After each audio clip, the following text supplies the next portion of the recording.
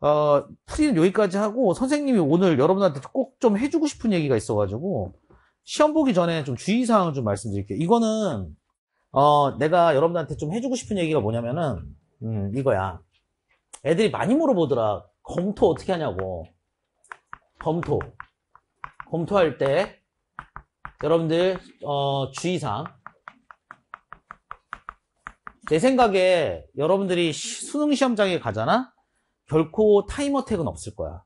어, 난 그렇게 생각해. time attack이 있으면 여러분들 읽기 능력에 저하가 생긴 거예요. 알겠죠? 근데 일단은 검토에 할때 주의사항인데 1순위. 1순위는 여러분들 계산 문제야, 무조건. 알겠어? 계산 문제야. 사칙연산 틀려가지고 틀리면 안 되죠? 1순위 계산 문제 여러분들 한번 검토를 무조건 하시고, 그리고 이제 두 번째는 뭐냐면 1, 2페이지 검토사항을 말씀드릴게요. 왜냐면 3, 4페이지의 구조가 복잡한 문제들은 오히려 잘 풀어 애들이. 왜냐면 집중력이 다르거든. 근데 1, 2페이지에 두 번째가 1, 2페이지. 1, 2페이지에 어, 문제를 갖다 풀었을 때 여러분들 반드시 좀 가져갔으면 하는 게 몇 가지가 있어요. 일단은 내가 맨날 어, 부르짖는 축 단위 스케일 기억나시죠? 축 단위 스케일.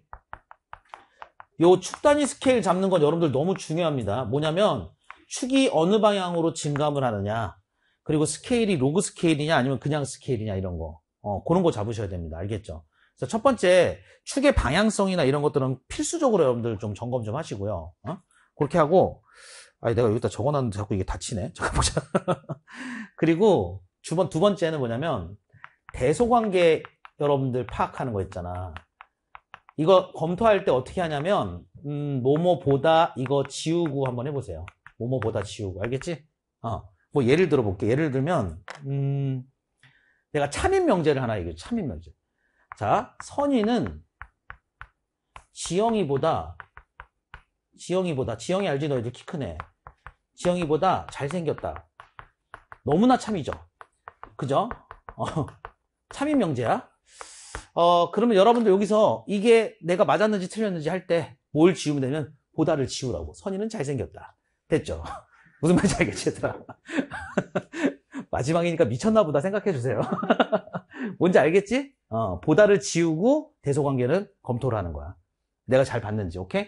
왜냐면 너희들 알잖아. 막판이 되면 어차피 두 개 중에 하나야, 답은. 무슨 말인지 알겠지요? 보통 두 개 중에 하나가 된단 말이야. 근데 거기서 이런 실수를 하면 안 되니까, 이거 두 번째 다시 한번 말씀드리고, 그 다음에, 하나 더, 어, 요거랑 이, 저, 연장선상에 있는 건데, 축단위 스케일이랑, 그 다음 이제 세 번째는 뭐냐면은, 증감 방향에 대한 좀, 어, 점검을 하셔야 됩니다. 특히 증감 방향은 애들이 뭘 많이 틀리냐면, 시간 스케일이 나오면 많이 틀려요. 그러니까 뭐냐면, 연령 또는 시간, 연령 또는 시간.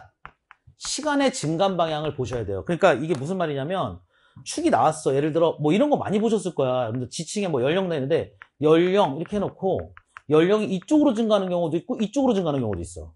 이거 조심하셔야 돼요. 그리고 또 한 가지가 뭐냐면 이런 그래프를 그려놓고 예를 들어 그냥 이렇게 하는 거야. 여기가 현재인 거야. 현재. 그리고 이거 100m에 이렇게 주는 거야. 그럼 시간이 이렇게 흐르는 거야. 아시겠죠? 어, 이거 조심하셔야 됩니다. 이거 진짜 조심하셔야 됩니다. 그러니까 여러분들이 이 증감 방향은 어, 되게 조심하셔야 되고 연령뿐만이 아니야. 모든 게 다 마찬가지거든. 그래서 수치 보실 때 항상 조심하시고, 오케이? 그거 좀 보시고. 그리고 이제 저거가 스케일이 좀 다르게 나오는 경우도 있으니까 그것도 좀 조심하시고. 그리고 음, 내가 그 다음에 이제 얘기하는 게 여러분들이 되게 많이 틀리는 요소 중에 하나가 이거야. 아, 이런 거 있잖아. 예를 들어 A, B 이렇게 주거나 P, Q 이렇게 주거나 X, Y 이렇게 주었을 때 이렇게 가는지 이렇게 가는지 방향성 뭔지 알겠지 얘들아 그리고 점이 어디 찍혀져 있는지 방향성 이게 검토 요소 중에 하나야 그리고 너희들이 제일 많이 틀린 게 뭐냐면 이렇게 나오면 진짜 많이 틀려 이거 기억하지? 어 그러니까 프라임으로 나왔을 때 조심하기 오케이? 방향성 조심해 항상 방향성 그러니까 이건 마지막까지 진짜 중요한 거야 이 방향성도 그러니까 이거는 내가 시간의 방향성보다는 내가 저 지난번에 예시를 드려, 들어드렸잖아요 뭐였어요, 여러분들? 예시 들은 게 뭐였어? 그냥 지층에서 이거 평가원에 실제 나왔던 거지. 이렇게 찍어놨는데 여기가 X고 여기가 Y였단 말이야. 이런 거. X에서 Y로 갈수록 이런 거. 오케이? 이런 거 조심하셔야 된다고. 어? 이런 거 조심하시고 그리고 또 한 가지가 좀 드리고 싶은 말씀이 잠깐. 자꾸 다치냐 이거? 음, 음. 어, 여러분들 그 그래프 같은 거 볼 때 이것도 마찬가지 요소인데 지레 짐작하지 마세요. 절대로 지레 짐작하지 마. 아, 그게 뭐냐면 이걸 꺼야 하고 들어가면 안 된다고 절대로. 그러니까 수능에서 여러분들 방향성을 다르게 주는 것도 마찬가지인데 그냥 이걸 꺼야 하고 문제를 풀었을 때 틀리는 경우가 상당히 많이 생기거든. 그러니까 그 부분을 좀 조심하셔야 되고 이제 마지막으로 좀 얘기해 싶으신 게 이제 이거예요. 음, 문항을 이제 수능 시험 문항은 여러분들 항상 그 내가 아까 전에 잠깐 얘기했는데 낯선 문항이 나올 거야. 낯선 문항이 출제가 돼요. 출제가 돼요. 그러면은 안 배운 게 아니야. 근데 문제를 모르겠어 만약에. 그럴 수 있어. 당황하지 않아야 돼. 첫 번째 근데 제일 중요한 게. 당황하지 않아요. 그럼 당황하면 끝납니다. 알겠죠? 당황하지 마세요. 아니 근데 그럴 수 있어 하고 들어가면 돼. 어, 그래 내가 뭐 이게 근데 뭐 아무것도 안 떠올라. 그러면은 그 방법은 딱 정해져 있어. 문항 안에서 문항 내에서 문항 내에서 조건을 찾거나 답을 찾아야 돼요. 이게 뭐냐면 이게 별 당연한 얘기잖아. 좀 선생님 너 밖에도 찾아요? 그럴 수 있잖아. 이게 무슨 말이냐면 이게 여러분들이 살 길인데 만약에 위험한 상황이 오면 문항을 천천히 꼼꼼히 읽어요. 꼼꼼하게 꼼꼼하게 읽기야. 왜냐하면 문항 자체에 조건이 있는 경우가 되게 많아. 그러니까 단어를 헷갈려가지고 틀린 경우가 되게 많다고. 그러니까 꼼꼼하게 읽으셔요. 꼼꼼하게. 알겠지? 이게 마지막에 너희들이 안 보이면 이걸 쓰는 거야. 그리고 또 안 보이면 하나 더 있어요. 하나 더. 내가 단조건을 놓치고 있는가. 단조건 확인하는 거야. 알겠지? 이게 너무 중요해. 오케이? 그 단조건은 여러분들 어떤 경우에 굉장히 파워풀하냐면 너희들 그 기후변화 문제 풀 때 진짜 강력해. 왜냐면 단, 밀란코피 시 주기가 나왔어 만약에. 그러면은 경사각을 변화시켰는지 20류를 변화시켰는지 세차운동 시켰는지가 나온단 말이야. 이러면 속도가 빨라지고 정확도가 올라갈 거야. 알겠지? 그러니까 요 정도 여러분들 정리하시면 되겠습니다. 그러니까 문제 풀면서 이런 것들 여러분들 조금 확인을 하시고 들어가셨으면 좋겠습니다. 알겠지? 요거까지는 내가 영상을 좀 올려놓을게. 어 그리고 오늘 마지막 날이니까 그래도 좀 그 이런저런 얘기 좀 하고 마무리해야 되지 않을까?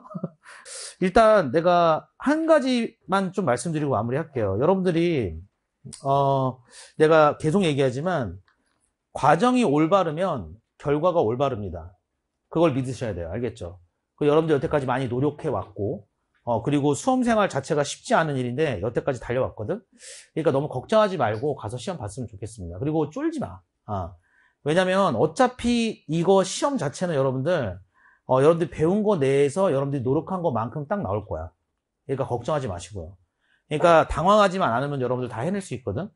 그리고 이제 그 내가 또 한 가지 좀 얘기하고 싶은 건 우리가 조교를 갖다 모집하는데 어, 시험 보시고 관심 있는 친구들은 어, 좀 여러 분야로 좀 모집하거든. 뭐 컨텐츠부터 현장부터 여러 가지 답변까지 다 해가지고 하니까 어, 지원을 해주시고 내가 다른 선생님보다 돈을 많이 준다는 말은 못하겠지만 어, 잘 사줍니다. 어, 먹을 거 잘 사주니까 잘 먹입니다. 뭐 부모님들이 되게 좋아하세요. 그래서 어, 우리 조교하는 거. 그래서 좀 지원 좀 해주시고 선생님 올해 한 해 동안 그래도 좀 최선을 다해서 좀 수업을 하려고 했는데 혹시 부족한 부분이 있었으면 여러분들 너그러이 양해 좀 부탁드리고 나도 최선을 다하긴 했는데 부족할 수도 있으니까 어찌됐든 여러분들 고생 너무 많으셨고요. 어, 다시는 이런 공간에서 만나지 맙시다. 알겠죠? 다시는 만나지 말고 다른 데서 만나고 여러분들 대학생활 열심히 하시면서 땅끝 밖으로 웃고 다녔으면 좋겠습니다. 항상 행복하시길 바라겠습니다. 감사합니다. 수고하셨습니다.